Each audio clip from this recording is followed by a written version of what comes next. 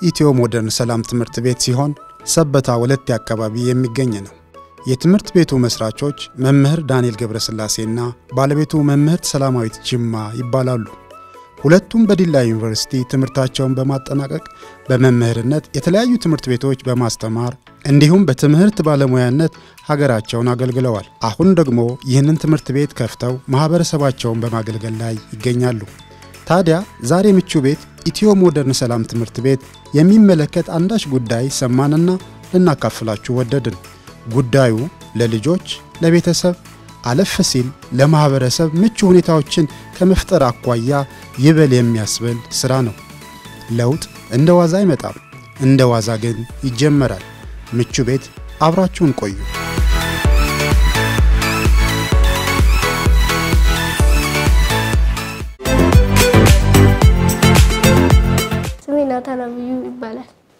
የአራተኛ ክፍል ተማሪ ነበር። ከአሁን ወደ አምስት አልፍ ያለ ብዙ ጓደኞች አሉኝ፣ ግን ቅርብ ለእኔ ቅርብ የሆኑት ጓደኞች ሁለት ጓደኞች አሉኝ። ሚኪያስና ዳዊት ይባላሉ። ከእነሱ ጋር የተለያዩ ጨዋታዎች ለዚህ ግቢ የሚመቸው የተለያዩ ጨዋታዎችን እንጫወታለን። ለምሳሌ ኳስ ኳስ እንጫወታለን። ሌላ አኩኩሉ እንጫወታለን። አንዳንዴ እነዚህ ነው የምንጫወተው። ከወላጅ ጋር ነው የምንሄደው፣ ግን ዳዊት የሚባለው ጓደኛ ከኔ ወላጅ ጋር ነው የሚሄደው። አብሮን ነው ከእሱ ጋር ነው በጣም ቅርበት ያለ። ያጠናን ዘዴ እንደ ማንኛውም ተማሪ የማጥኛ ዘዴ ነው፣ ግን የሚለየው በጣም ትኩረት አድርጌ ስለምሰራ ነው እንጂ ያን ያህል የሚለይ ነገር የለውም። የምወደው የትምህርት አይነት ማትስ ነው። እንትን ከዚህ ትምህርት ቤት ከሁሉም ተማሪዎች አንደኛ ስለሆንኩ የነፃ ትምህርት እድል ሰጥተውኛል። በነፃ መማሩ ጥቅም ያለው የለውም እኔ ለመረዳት አልችልም፣ ግን ይሄ የሚያስረዳው የአንድ ተማሪ ጉብዝና ነው። ለዛ እንደዚህ አይነት ነገር መሰጠት ብዬ አስባለሁ፣ ይጠቅማል። ቤት አብዛኛውን ጊዜ እኔ ላይ ባጠናው አንዳንዴ ፈተና ምናምን ሲደርስ አባቴ ነው የሚያስጠናኝ። ትምህርት በምንውልበት ጊዜ አንዳንዴ ብዙ ሰዓታችንን የምናባክነው በትምህርት ነው።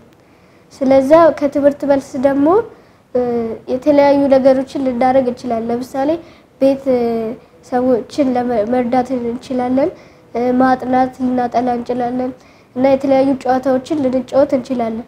ስለዚህ እጫወታለሁ፣ ከትምህርት ቤት መልስ እጫወታለሁ፣ አጠናለሁ፣ የቤተሰቦችን አገዛለሁ። ከዛ ወደ ራስ በልቼ እተኛለሁ። የፈተና ውጤት ጥሩ ነው። ቦነሶችን አንዳንዴ ያገኛለሁ። ከአምስት አምስት አራት ሁለት እንደዛ አይነት ቦነስ አገኛለሁ። ጥሩ ነው፣ ምንም አይልም። አንዳንዴ X ወይም ስንስት ፈተና ላይ ጥያቄ ስንስት ለእሱ እሱን ለማስተካከያ ተብሎ አንድ ጥያቄ ጉርሻ ተብሎ ይሰጠናል። ከዛ በዛ ምክንያት ስህተት ይደፈናል ማለት ነው። መቶ ካላመጣው እንትን የባደፍን ይመስለኛል። ለዛ እንትን በቃ እናደዳለሁ። ተናድጄ ምንም አላመጣው። ስለዚህ ምንም አላደርግም። የሚቀጥለውን ስህተት ተምሬ አስተካክላለሁ። እንደዛ ነው ማደርግ። በመጀመሪያ እዚህ ትምህርት ቤት ከነርሰሪ ጀምሮ እስከ ኬጂ ያው ቀላል ነው ትምህርቱ ማለት ብዙም ያክል በጣም ትኩረት ነገር ስለማይሰጠው ህፃናት ስለሆኑ እንደዛ በጣም ቀላል ነገር ነው የሚሰጣቸው። ለዛ በዛ ክልል እድሜ እንደዚህ አይሰጣቸውም። ግን አንደኛ ክፍል ከአንደኛ ክፍል ጀምሮ ጥሩ ውጤት ላስመዘገበ ተማሪ ይሰጣል። እኔ ያስመዘገብኩበት አንደኛ ክፍል አስመዝግቤ ያለው ሁለተኛ ክፍል ኮሮና ስለነበረ ትምህርታችን ተጓቶ ነበር። ሌላው በሶስተኛ ክፍልም አስመዝግቤ ያለው አራተኛ ከዛ አምስተኛ ሽልማት ያስገኝልኛል ግን የተለየ የሚሰማኝ ስሜት የለም። ዋናው ውጤት ስለሆነ ያኛው ምንም አልተሰማኝም። ትምህርት ስጨርስ እግዚአብሔር ካለ መሆን ፈልገው ደራሲና የህይወት አማካሪ። የህይወት አማካሪ ማለት ትምህርቶችን ለህይወት እንደዚህ ማድረግ አለባችሁ፣ እንደዚህ ህይወታችሁ እንዲስተካከል እንደዚህ ማድረግ አለባችሁ የሚል ሰው ነው። አማካሪ ማለት ነው። የመረጥኩበት ምክንያት ደራሲና የህይወት አማካሪ ለመሆን የመረጥኩበት ምክንያት ምንድን ነው? አንደኛ የህይወት አማካሪ ለመሆን የፈለግኩበት የምወደው የሆነ የህይወት አማካሪ አለ የእኛ ቲቪ ላይ እንዲሁም የሆነ አስተማሪ አለ። እሱ በጣም ስለማይ እሱን ስለወደድኩት የሚሰጣቸው ምክሮችን እዛ ነው። ደራሲ የሆንኩበት ምክንያት ደግሞ የተወረሰ ባህል ነው። ምክንያቱም አክስቴ እሷም ደራሲ ናት። የእሷ ልጅ ወይም የእኔ የአክስት ልጅ ህሊና የምትባለዋ እሷም ደራሲ ናት። አንድ መጽሐፍ አሳትማለች the red fox country እና ከዛ አንጻር ደራሲ መሆን ፈለግኩ። አብዛኞቹ የኔ ተፎካካሪዎች ናቸው። ለምሳሌ ዳዊት እሱ የኔ ተፎካካሪ ነው። የኔ ተፎካካሪ ወይም እንደኔ ለመሆን የተለየ ነገር የለኝም፣ ግን በደንብ ማጥናት አለባችሁ ነው የምለው። ትርፍ ጊዜን ማሳልፈው አብዛኛውን ጊዜ ሂሳብ በመስራት ነው። ሂሳብ አባከስ የሚባል አንድ የሆነ ባህላዊ ሂሳብ መስሪያ ካልኩሌተር መጥቷል። እሱን በመስራት ጊዜን አሳልፋለሁ። ሌላ ትርፍ ጊዜ ደግሞ ማሳልፈው ዳማ ከወንድሜ ጋር በመጫወት ነው። የተለያዩ ነገሮችን ከወንድሜ ጋር በመጫወት ነው። ክረምቱ ደግሞ ያሳለፍኩት የተለያዩ ነገሮችን በመከወን ነው። ቤተክርስቲያን እሄዳለሁ። ቤተክርስቲያን ግዕዝ የምንማረው አለ።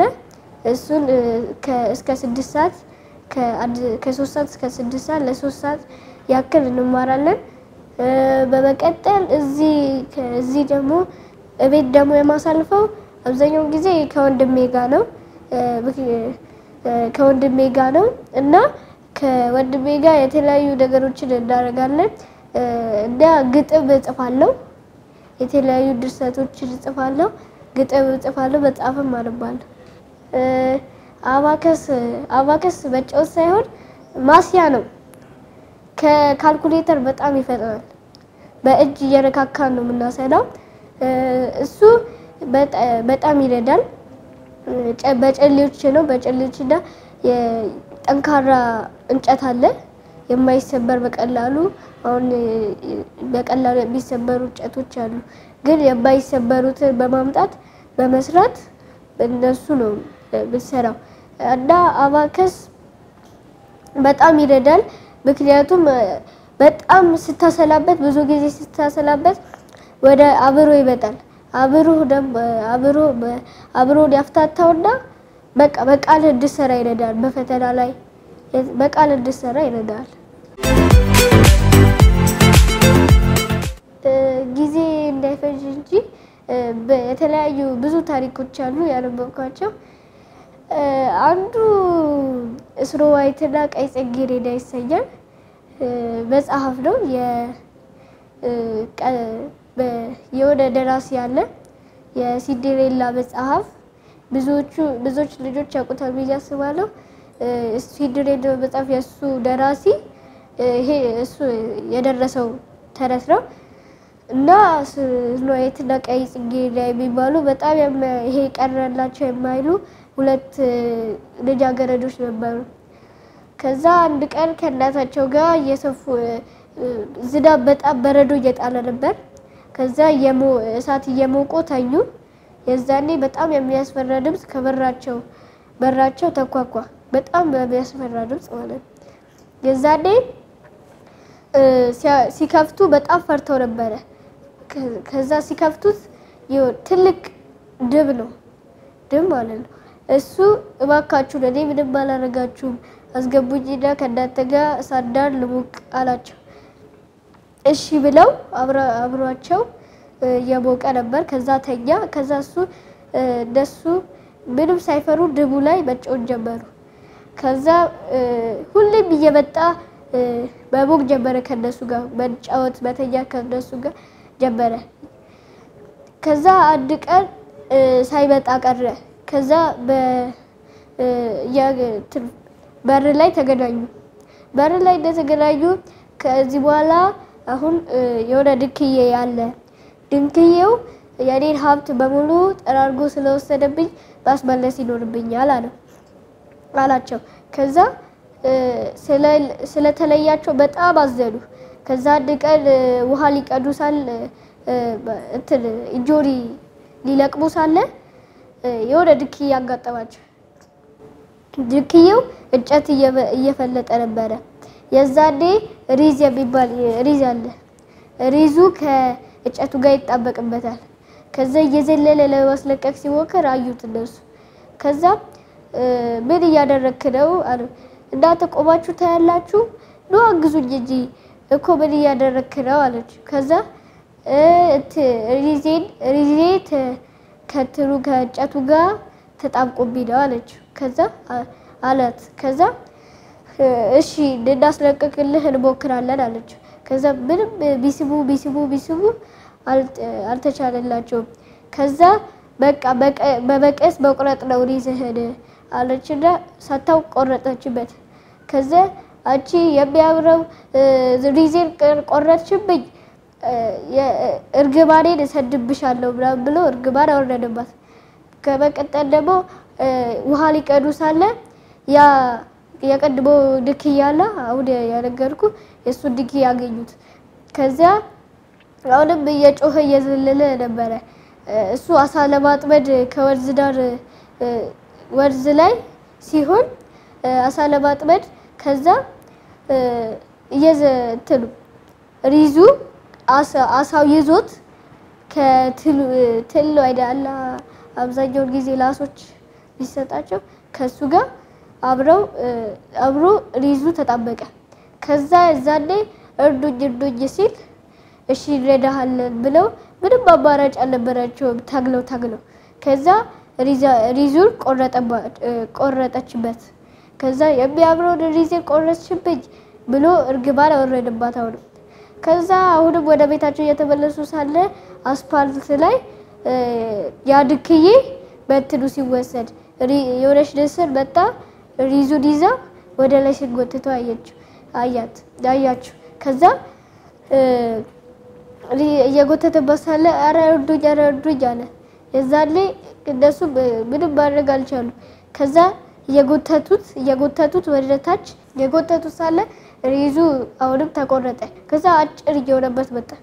ከዛ የዛኔ የሆነ ድብ መጣና ያ ቅድም ባለ ሲሞቀ የነበረው ከነሱ መጣና ድክዬውን እንደዚህ ጣለው፣ ወርውሮ ጣለው።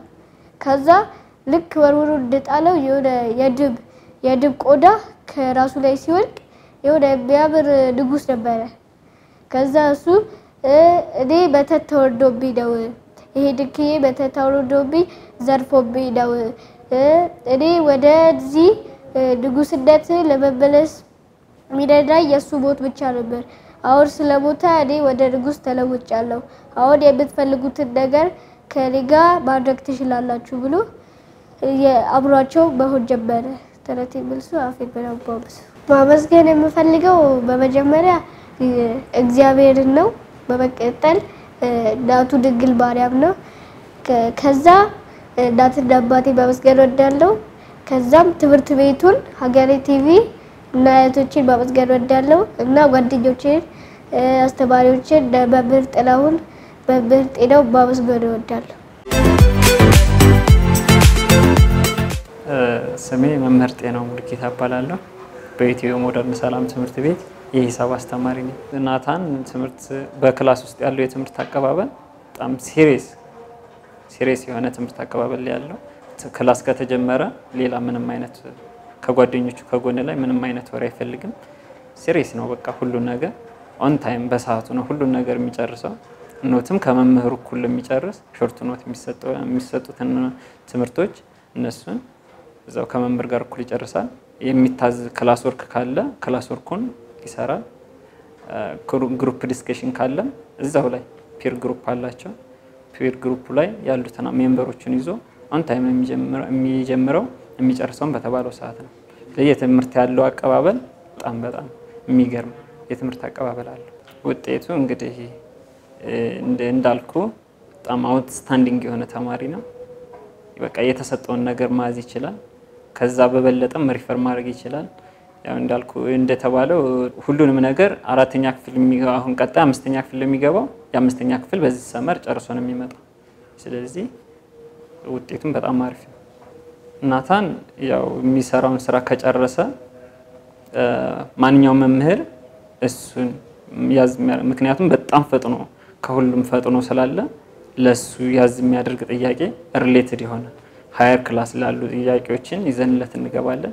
እነዛን ሲሰራ ይቆያል። ያንን ከጨረሰ ደግሞ ካሳረመ class work ኡን ካሳረመ እነዚህ በደካማ ተማሪዎች በትምህርት ደካማ የሆኑ ተማሪዎችን እነሱን እየዞረ ያግዛል እንጂ class ውስጥ ምንም የመረበሽ እንትን አይታይበትም። ናታን ሁሉም ተማሪ እሱ እንዲያስረዳቸው ይፈልጋሉ። ስለዚህ ሁሉም በየቦታው ያሉ ተማሪዎች እሱን የመጥራት class ውስጥ እንደዛ ነገር ነው ያለው። በጣም የሚወደድ አይነት ተማሪ ነው። በጣም disciplined ነው። መምህር አክባሪ ነው። በተማሪዎቹ የሚወደድ ነው። even እንኳን ሌላው ቀርቶ higher አንደኛ ክፍል፣ ሁለተኛ ክፍል፣ ሶስተኛ ክፍል እየገባ የጥናት ሰዓት አላቸው ምሳ ሰዓት ላይ በዛ ሰዓት እየገባ ያስረዳል። አንደኛ ክፍል፣ ሁለተኛ ክፍል እየገባ ራሱ ይረዳል። ከትምህርት ውጭ ያለው ባህሪ በተለያዩ ክበባት ይሳተፋል። then እነዚህ ያለአግባብ የሚሰሩ በሽንት ቤት አካባቢ የትም ከ class class ከአንዱ class ከ class ኣቸው አልፎ ሌላ class የሚሄዱ እነሱን ተማሪዎች ይቆጣጠራል። then ያለአግባብ የሚሰሩ ተማሪዎችን እንደዚሁ ቢሮ ላይ አስተዳደሩ ላይ መጥቶ ሪፖርት ያደርጋል። እንደዚህ ከሱ የማይጠበቁ ማለት በዚህ እድሜው ምክር ራሱ ይሰጣል እና እስከዚህን ድረስ ነው። በተለያዩ ክበባት ይሳተፋል። እነዚህን ነገሮችን ያደርጋል። ከተማሪዎች ጋር ያለውም እንደዚህ በስፖርት አላቸው በየሰዓቱ በየ grade ኡ እንትን እያለ ፕሮግራም ወጥቶላቸው የሚጫወቱበት ሰዓት አላቸው። ኳስም እንደዚህ class ከ class ያላቸው በዛ ሰዓትም ሁለገብ ነው ልጁ። አሪፍ ነው ከጓደኞች ጋር ያለው ግንኙነት። እንግዲህ ለእነ ናታን አይነት ልጆች መፈጠር ከመምህራን አልፎ የወላጆች ሚና አለ። ስለዚህ እነዚህ ልጆች ባሉበት እንዲቀጥሉ continuously እየመጡት ምን አይነት ውሎ አለ ልጄ እንዴት ነበረ ውሎ ምናምን ብሎ ቢያንስ ቢያንስ ከሳምንት አንድ የመጦ ከ management ኡ ጋር communicate ማድረግ አለባቸው። እንደዚህ ከሆነ ውጤታቸውን አስጠብቀው ይሄዳሉ ብዬ አስባለሁ። ወላጆቹ ሁሌም እንደዚህ ቢያደርጉ continue ልጆቻቸውን ቢከታተሉ ከትምህርት ቤት አስተዳደሩ ጋር ማለት direct የሆነ relation ቢኖራቸው ያንን ቢያደርጉ እላለሁ።